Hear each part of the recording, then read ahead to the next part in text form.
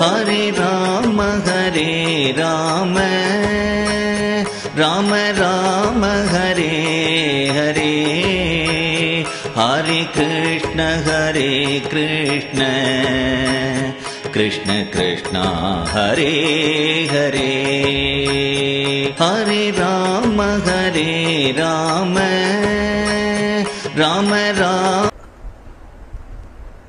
பாகவதத்திலேயே பத பிரயோகங்களை ரொம்ப ஜாக்கிரதையாக கவனிக்கணும். ஆரம்ப சரித்திரத்தில் நாரதருடைய அம்மாவை ஒரு பாம்பு வந்து தீண்டித்து அப்படின்னு சொல்லும் பொழுது வியாசாச்சாரியால் அங்கே என்ன பதத்தை போடுறார் அப்படின்னா காலச்சோதிதம் அப்படிங்கிறார். காலத்தினால ஏவப்பட்ட அந்த பாம்பு அவ தாயாரை வந்து கடிச்சது அப்படிங்கிறார்.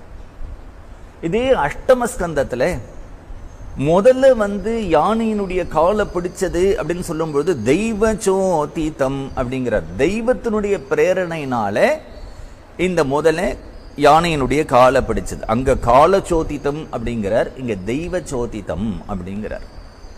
இப்ப சில பேர் விஷயத்திலே காலம் காரணமா இருக்கு சில பேர் விஷயத்திலே தெய்வம் காரணமா இருக்கு. காலம் எல்லாத்தையும் தாண்டினது தெய்வம். தெய்வம் காலத்துக்கு வசப்பட்டுடுத்து அப்படின்னுட்டா காலத்துக்கு கட்டுப்பட்டுடுத்துன்னா அப்புறம் தெய்வத்தை காட்டிலும் காலம் பெருசா போயிடும். அதனால தெய்வம் அடிக்கடி தான் காலாதீதன் அப்படிங்கிறத பல சரித்திரங்கள்னால நமக்கு புரிய வைக்கிறது. அதனால பதப்பிரயோகங்கள் ரொம்ப அழகா இருக்கு. ஆச்சாரியாலும் விவேக சுடாமணியில துர்லபம் ஏவத்ரயம் ஏதத் தெய்வானுகிரக ஏதுகம் மனுஷ்யத்துவம் முமுக்ஷுத்வம் மகாபுருஷ சம்ஸ்ரயகா.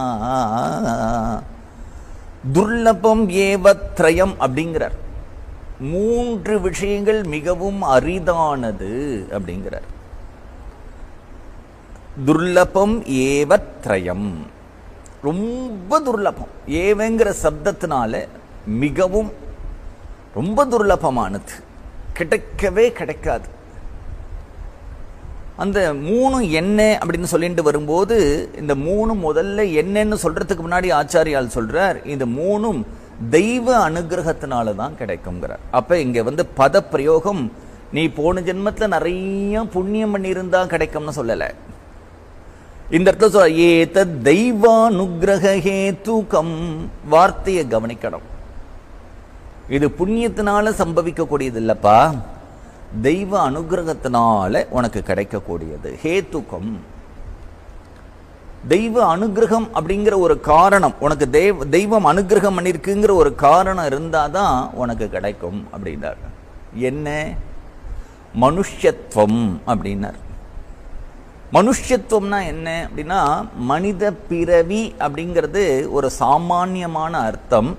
இந்த இடத்துல எடுத்துட்டோமானால் மனித தன்மை மனுஷத்துவம்னா ஒரு மனுஷன் ஆத்ம குணங்களோடு இருக்கிற ஒரு விஷயம் இருக்கே இப்ப பெரியவாளுடைய சரித்திரங்கள்லாம் சொல்லிட்டு அவ எத்தகைய ஆத்ம குணங்களோடு இருந்தான்னு சொல்றேன் இல்லையா? அந்த ஆத்ம குணங்களோடு நீ இருக்கிறதுங்கிறது உனக்கு எப்படி கிடைக்கும்னா எதனால உனக்கு சம்பவிக்கிறதா? மனுஷ்யத்துவம் தெய்வ ஹே தெய்வானுகிரக ஏத்துக்கம்.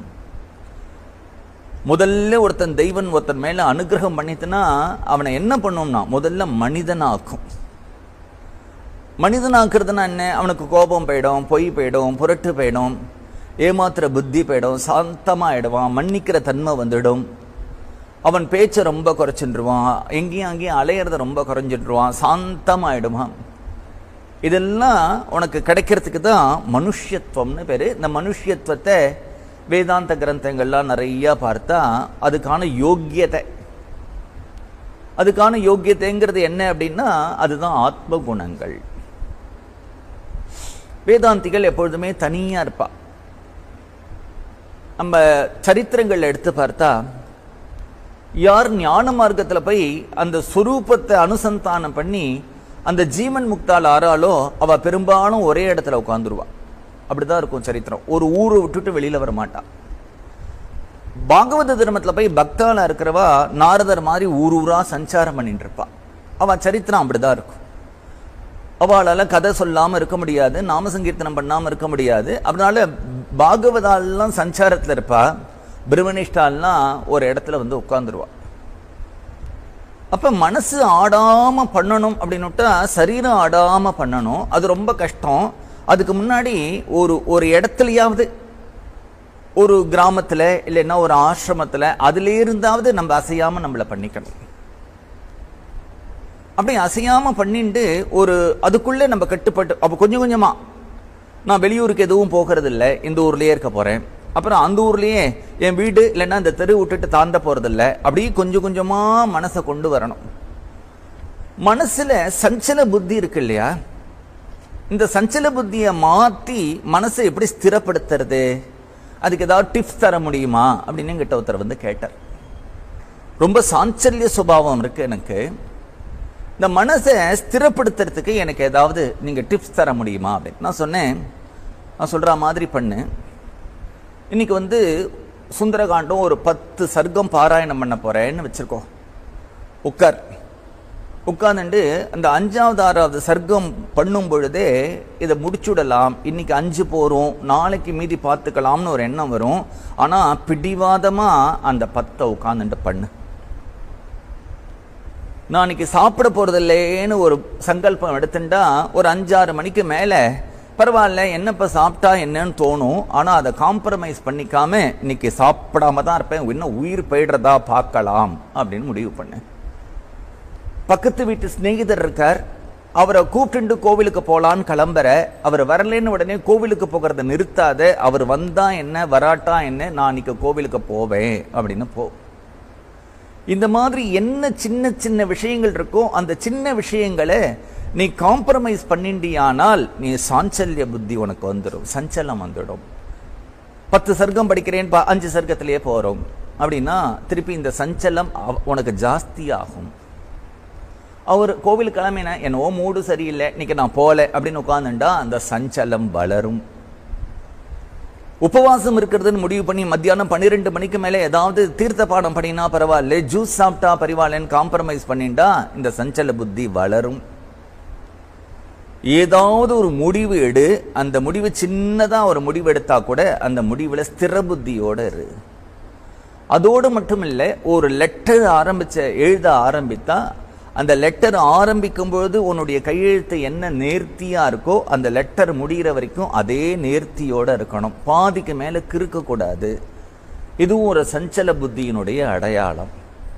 ஒரு நாலு லைனை ரொம்ப அழகாக எழுதிட்டு கடைசியில் இருக்கிறதெல்லாம் கிறுக்கிறதோ இல்லை போருங்கிறதோ அதில் இருக்கக்கூடிய நம்ம எழுத வேண்டிய விஷயத்தினுடைய ஒரு விஷயத்தை குறைக்கிறதோ இதெல்லாம் சஞ்சல புத்தியினுடைய அடையாளம். இதெல்லாம் பிடிவாதமாக நம்ம என்ன பண்ணணும் அப்படின்னா நம்ம எப்பொழுதுமே மனுஷனுடைய ஒரு சுபாவம் என்ன அப்படின்னுட்டா முதல்ல ஒரு விஷயத்தை எப்படி கவனிக்கிறோமோ கடைசி வரைக்கும் அப்படி நம்ம கவனிக்க மாட்டோம். நமக்கு அதில் அவ்வளோக்கு மேலே இன்ட்ரெஸ்ட் போகாது. நமக்கு எல்லாம் புரிஞ்ச ஒரு உதாரணம் சொல்கிறேன் நிறையா நம்ம நித்தியம் பாகவத பாராயணம் பண்ணுறோம் பாகவத கதை கேட்டுட்டு இருக்கோம் இல்லையா? யாரையாவது கூட்டு ஷியாமம் ஹிரண்ய பரிதம் அப்படின்னு ஆரம்பி அவளும் ஆரம்பிப்பா. அடுத்த லைன் அவள் சொல்ல மாட்டாள் மூணாவது லைன் நிச்சயமாக சொல்ல மாட்டா நாலாவது லைன் சொல்ல மாட்டா. ஏன்னா இந்த ஷாமம் இரண்யபரிதியும் வனமால்யா பருகங்கிற அந்த ஒரு வரியை கவனிக்கிற இன்ட்ரெஸ்டோட அடுத்த மூணு வரியை நாம் கவனிக்கிறது இல்லை அதனால தான் முதல் வரியோட அர்த்தம் வரி மட்டும் நமக்கு நின்னா ஞாபகம் இருக்குது அடுத்த வரி என்ன அடுத்த வரி என்ன அடுத்த வரி என்னன்னு கவனிக்காததுனால ஷாமம் ஹிரண்ய பரிதும் வனமால்யா பருக அப்படின்னா அதுக்கு மேல அவளுக்கு தெரியாது. நம்மளுடைய அட்டென்ஷன் வந்து ஒரு முதல் முதல்ல ஒரு விஷயத்துல எந்த அளவுக்கு இருக்கோ கடைசி வரைக்கும் அந்த விஷயத்துல நம்மளுடைய அட்டென்ஷன் இல்லை.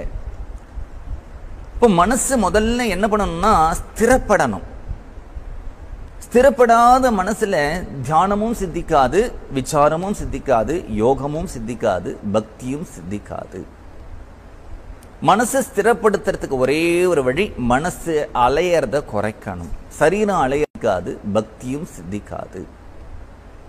மனசை ஸ்திரப்படுத்துறதுக்கு ஒரே ஒரு வழி மனசு அலையறத குறைக்கணும். சரீரம் அலையறது குறைஞ்சா மனசு அலையறது குறையும்.